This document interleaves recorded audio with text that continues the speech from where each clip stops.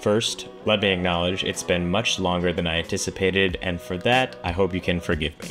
Life happens without warning, and I needed some time. This update will be short, but big.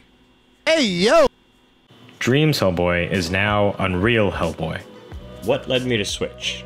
Vaguely, a lot of reasons, but specifically, I was getting burnt out on the project in Dreams. I had recently built a PC and was casually messing around in Unreal Engine. Every week, it felt like I was seeing something amazing done in Unreal. There was a video series that was a huge motivator. It was Reubs remaking The Simpsons Hit and Run in Unreal Engine 5. A lot of the granular info went over my head, but the process was so intriguing. Then, there were reactions to my Hellboy project. It was acknowledged as cool, but not a lot more than that. Dreams is niche, and I love that niche, but I wanted people to see the project as I did, so I'm pushing it. Now, what came first? Outside of the one off experiments I was doing in Unreal Engine, I knew it would be hard for me to really start without a good model. Am I a Blender guru? No. Am I another 3D software expert? Not really, unless you count Dreams. I did try to get my model out of Dreams to, let's say, mixed results.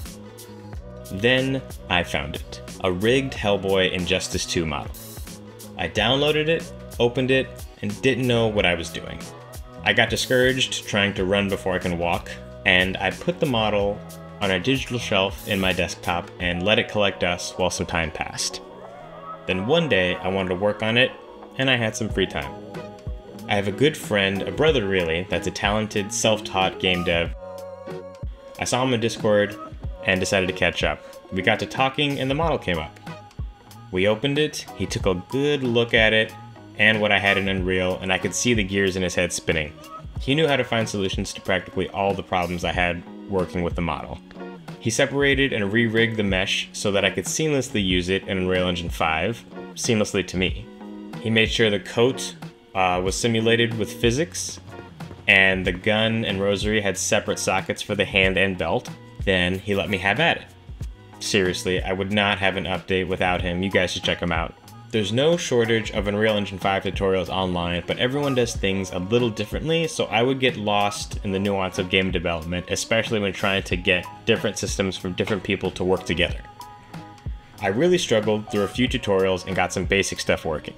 Nothing is ironclad yet, but I'm excited about where the project is currently. I've set up motion matching from scratch. It's not as clean as the game animation sample, more on that later, I found a great fight animation pack on Fab. I set up a basic combo system with a chooser table. There's an aim button, more on that later, and a coat interactable. I figured out how to set up the dual sense with Unreal Engine 5. That's really big for me, it's starting to feel like dreams again. Some sound effects for that combo that I mentioned. And there's a hit stop when attacking. It is crunchy, but it currently happens when anything is colliding with Hellboy while he's attacking. I found an Abe model on Sketchfab. It looks to be the Del Toro version. I think it's pretty well done. And a Frog Monster model. I found it on a 3D printing site, threw it into Mixamo to rig it, and I started but did not finish adjusting the weight painting, so it's pretty jank, but also kind of cool. Where does that leave me now? Currently, I run around a lot. The motion matching gets the job done, but there are nuanced things that really contribute to how smooth or polished it feels, especially when I compare it to the game animation sample. Why didn't I use that, you might be asking? I tried. Well, Devon and I tried. There's something causing all of Hellboy's mesh to be compressed. It is funny, but it's not really what I'm going for.